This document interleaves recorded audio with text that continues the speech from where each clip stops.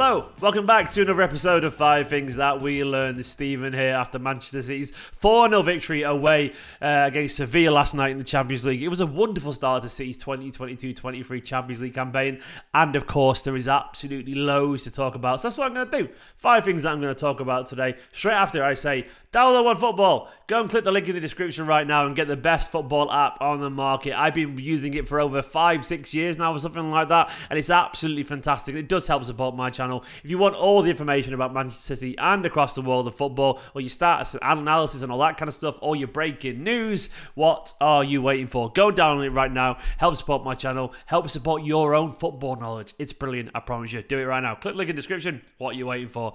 So I feel like I should start this video by saying subscribe as well. Nearly 65k. Subscribe to the channel. But what I was going to say before I remembered to say that was that I feel like I, I should probably make this video a Haaland free zone. Haaland is so predictably brilliant and so incredibly good always, every single week, that already seven games in after 12 goals, I, am running out of things to say about him. The, the, other days we'll talk about him, but he'll broadly get mentioned in this game, in this video anyway. But there won't be a Haaland section because he's just he's what more can say about the freak? You know, he's just freakishly good. Uh, so we'll talk about him further uh, in another day. But I want to start this video with um, the thing at the bottom. Akanji, man, he's ace. oh man, Akanji. Uh, this debut, and then there's that. That guy was born to be a Manchester City player. That guy was born to be a Guardiola player. Seriously, I said last night on Twitter, it's like someone put together an algorithm that would come up with a perfect Pep Guardiola centre back. Everything about uh, Akanji's game was just perfect.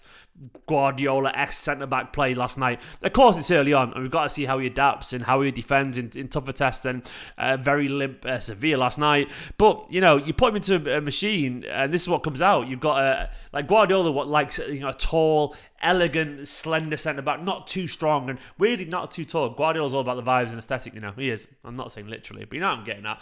Um, comfortable with both feet as well. He could pass with his left and right. At one point, he was passing so much with his left, I genuinely thought, is he left footed?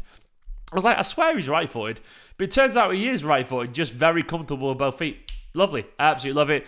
And also, as well, a good turn of pace. Very good uh, in terms of stepping into midfield as well. Good with the passes, long passes as well. Um, and also a very composed, calm style of leadership to his game. Genuinely, a Guardiola designed centre back there for 15 million pounds. So that is an exceptional little signing for Manchester City squad and does so much more for our season than I maybe even realised. Uh, obviously, there is more to test him about, but everything we've seen about him so far looks good. We could have got ourselves a hell of a bargain here, genuinely, because Akanji, man, like, that is a Manchester City player if I've ever seen one. That is an impressive debut. Uh, he did everything he needed to do last night and looked more than suitable for this Manchester City City squad. Um, as does Phil Foden, of course. 47 goals now uh, for number 47, which is wonderful stuff. Uh, I want to talk about Foden because I think Guardiola talks a bit about Foden. Guardiola alluded to the fact, and he said it publicly, which he doesn't really do actually.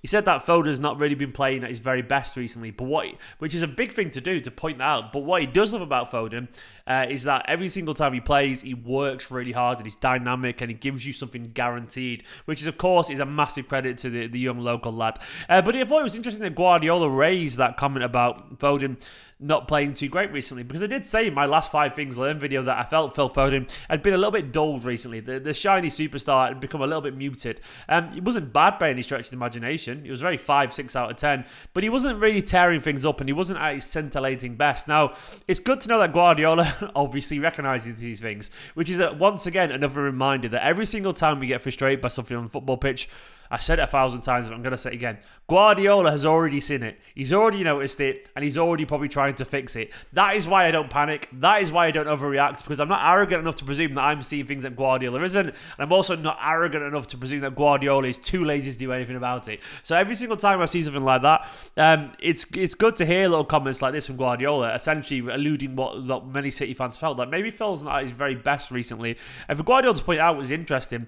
And I guess he pointed out because maybe he felt like he needed needed it to, to hear it. But whatever it was, the message got through because Foden last night was really good, man. Like a lovely little reverse pass to De Bruyne, which of course led to the opener for Haaland's freakishly long legs to get on the end of, and then of course a beautiful goal as well where he, he shimmied and jinxed uh, through defenders in the area and put it into the bottom corner. He was involved in so much. Uh, Semi got an assist as well when his shot was kind of deflected through to Haaland for his second. Um, basically, for Foden was involved so much more, and I still want to see more from Phil, man. I love Phil. What I want to see him running at people constantly because I think he's got that that to his game, uh, and he we know he's got that to his game. I want to see him come alive though and dribble at people. But that was encouraging last night. The third thing I want to talk about is: Are we Champions League ready? Are we ready to win it? I think we are. I mean, doesn't mean we will do, but look, last night I was watching that game and I was laughing to myself in my slightly tired and ill state, laughing at how much Haaland is everything that we've been missing. Haaland here. He's in the video, there we go. This is the Haaland bit. But it's a broader point how Haaland essentially is what we've missed in these games well. All you got to do is whip it across and he gets the opening goal because of his big telegraphic legs, you know, like um, and he does this time and time again. But Manchester City now, they have that experience in the Champions League. When you've got the experience of Gundogan, De Bruyne, and now Dias as well as experience, and Rodri's experience, and Bernardo's experience, and Ederson's experience, and Walker's experience, Cancelo's experience, they're all super experienced uh, in the Champions League now. Even Phil's got plenty of know how in this competition now. And when we've been as close as we have recently, in terms of a minute away from another semi final, and then, of course, reaching a final and losing it, um, you can tell that the team know how to get there. And the one thing it's always felt that we lacked, perhaps, was a killer in front of goal. Um, we definitely have the mentality, and we don't have the fear anymore to go far in this competition. We have the self belief, we have the tired kind of like acceptance of this competition, if that makes sense. We've been worn down by it so much that I don't think it phases anymore. There's only so many times you can be hurt by something before it starts, but eventually you're just numb to it. And in that instance, that's a good thing. I don't think that the fear of failure actually hurts Man City anymore. I think they play with a relative freedom in this competition because we've seen it all and it is what it is. And it is football. And it's a freedom that comes from a lack of fear sometimes. And I think that that's where City are now. And when you add the experience once again and the brilliance of someone like Haaland and Alvarez coming into this side, um, I think we're ready potentially to win it. I think we are. I don't think I've ever seen a Manchester City squad more ready than this one right now. And that's very exciting for me. Doesn't mean we will, of course, but it's very encouraging. I want to talk about a little cameo for the Yorkshire Pirlo, man. Like, I know Calvin Phillips was not the story of this game at all, but for me, it really stood out when he came onto the pitch. Um, how alive and how alert and how different he looked actually to, to Rodri. And I mean that in a very good way because there's no point having a Rodri clone there. That'd be nice, let's be honest.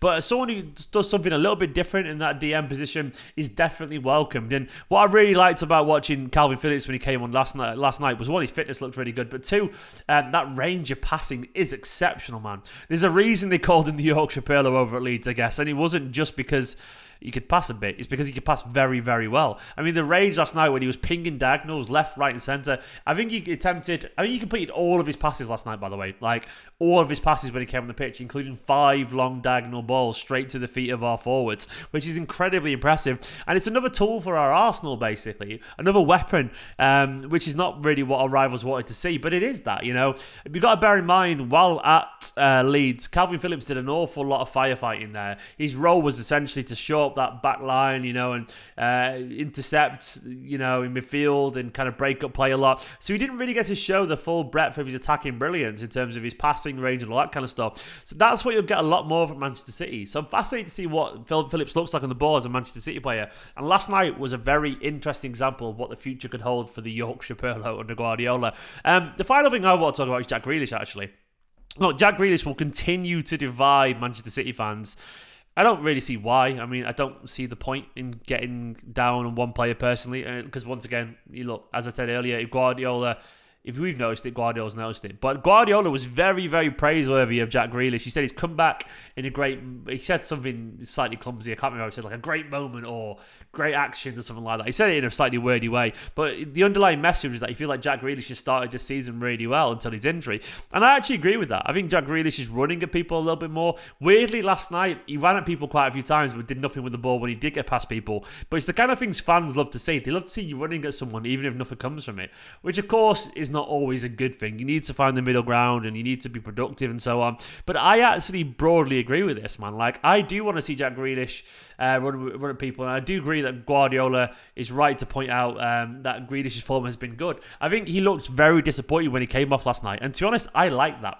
I liked seeing Jack Grealish furious that he came off after 60 minutes because he did look it. Jack Grealish is a, a very happy-go-lucky guy who never looks like the world's bothered him at all, man. He looks totally at home at all times and like he always looks really happy. But last night, I saw him look frustrated when he came off, and that was because I think he knew he was playing well. And how hard it is to get into the team and that he has to do more and get those goals and assists because unfortunately that is how the world judges him. Whether that's fair or not, that's just a matter of how it is. And um, I thought his actions last night and his energy and his running at people and his mentality when he came up was a really, really positive sign. And look, Jack, if he's up for it and he's on his best game, he's a very, very, very good footballer. Fingers crossed we see more of that Jack Grealish, and I'm sure we will. Uh, there are five things that I took from it. There was loads of talking points, so I've not talked about Gomez, by the way. Like, Gomez, I'll do a quick little kind of like bonus point here. Gomez, I thought was really comfortable in a Man City shirt, really comfortable. Like totally at home, and I really like that. And I love seeing Alvarez get on as well and be instantly really aggressive. And I love seeing Cole Palmer get on the pitch again. A perfect night last night, by the way. Genuinely, new players playing and another goals, uh, goals for Foden and Alvarez, uh, sorry, Erling and so on. Um, it was lovely stuff, and I really thoroughly enjoyed it. And Big Ruben getting a goal as well at the end. Lovely, lovely stuff indeed. Anyway, let me know down in the comments what you took from the game, the five things that you learned. Thank you once again to the Patreons. These guys are wonderful, as are my YouTube members, as are you, by the way. You know, but these guys, of course course, I want to give him a big shout out because all these names here, look, you know, this is my full time job and you help keep the channel going. So thank you very, very much. It's really appreciated. If you want to help, patreon.com forward slash esteemed kompany. Uh, if not, don't worry about it. Just keep liking these videos, subscribe to the channel if you're new, keep commenting down below. It all helps the channel. For now, though, have a wonderful day. Up the blues.